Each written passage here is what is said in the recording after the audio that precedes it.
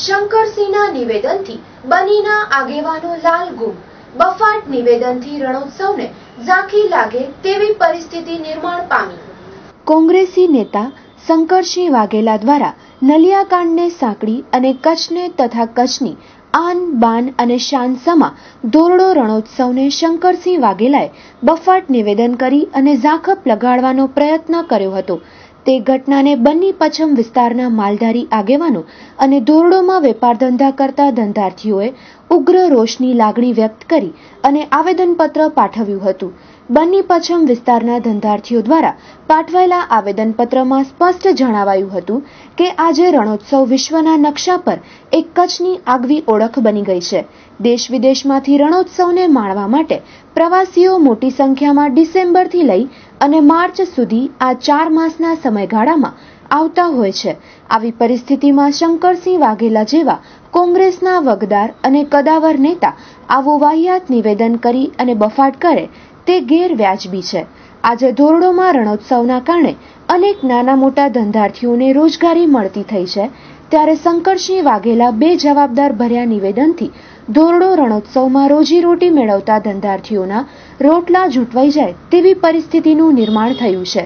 આવેદનપત્ર પાઠવવામાં બન્ની પચ્છમ વિસ્તારના હઠુભા જાડેજા, તૈયબ સમા, ફકીર મામદ રાયશી મીરાશા મુતવા, દિલુભા સોઢા, સલામ હાલેપોત્રા અને ઈશા મુતવા સહિતના પદાધિકારીઓ જોડાયા હતા. શું નામ છે તમારું ને શું હોદ્દો છે મારું નામ સલામભાઈ હાલેપોત્રા ને હું હોડકાથી સરપંચ છું. આજે જે આવેદનપત્ર આપવામાં આવ્યું છે કઈ બાબતને લઈને શું રજૂઆત કરી છે અમે જે કલેક્ટર સાહેબને આવેદનપત્ર આપ્યો એમાં અમે એ વિરોધ કરી રહ્યા છીએ કે બે દિવસ પહેલાં જે માનની શ્રી શક્કરસિંહ વાઘેલા સાહેબે જે પણ તંબુ નગરી અને રણ ઉત્સવમાં સેક્સ રેકેટ ચાલી રહ્યો છે, એના કારણે જે બોલ્યો છે.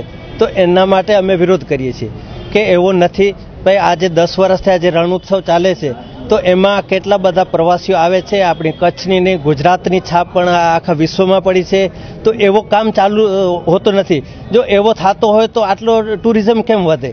અને એના ટુરિઝમના કારણે આજે આપણા કચ્છને કેટલો પણ ફાયદો થાય છે.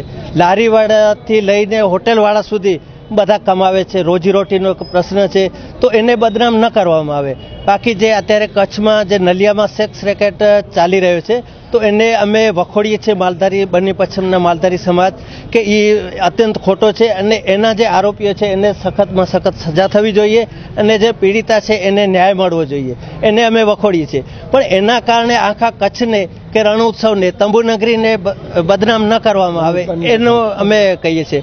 ને અમારે બન્નીમાં અત્યારે જે ખરેખર ટુરિઝમનો આપ સાહેબ પણ આવ્યા છો ને ઘણા બધા લોકો મુલાકાત લઈ ચૂક્યા છે, તો કેટલો સેફ જગ્યા છે. આજે આખા ભારતથી નહીં, પણ વિદેશથી પણ પ્રવાસીઓ આવે છે, એકલા એકલા ફરે છે, પણ એવો ક્યારેય પણ જવાબ નથી મળે. તો ખોટા આક્ષેપો શું કામ નાખવા? આપણે જે પણ જે જ્યાં અન્યાય થયો હોય, તો એને સજા આપીએ. એને આપણે બધા મળીને એને કહીએ કે એ આરોપીને સજા મળે. પણ જ્યાં ન થતો હોય, તો ખોટી રીતે પક્ષપાત કરીને કોને બદનામ કરવામાં આવે તો એમાં આપણે હું તો એમ સમજુ છું કચ્છ નહીં પણ આખો ગુજરાત બદનામ થાય છે. કારણ કે આજે રણ ઉત્સવ છે ગુજરાતમાં જેટલું ટુરિઝમ વધ્યો છે એ આખો ભારતમાં નહીં પણ આખા વિશ્વના નકશા ઉપર છે. તો આખા વિશ્વમાં આપણે કેટલો બદનામ થઈએ? આપણા ભારતમાં આપણું ગુજરાત કેટલું બદનામ થાય? તો આપણે પોતાની પક્ષપાતી એ મૂકી અત્યારે એ જે વસ્તુ જ્યાં જ્યાં પણ થાય તો એને આપણે બદનામ કરીએ. પણ ખરેખર બીજા વિસ્તારને બદનામ ન કરીએ. અને અમારી બન્ની જે વિસ્તાર છે એ તો એક મહેમાન ગતિમાં આગવી ઓળખ છે. પહેલાથી આજે આજે રણોત્સવ થાય. એના પહેલાં પણ એક મહેમાન ગતિ ને ટુરિઝમ માટે સેફ જગ્યા છે. તો એને ખોટું બદનામ કરવાનું બંધ કરે. એના માટે અમે આજે કલેક્ટર સાહેબને આવેદન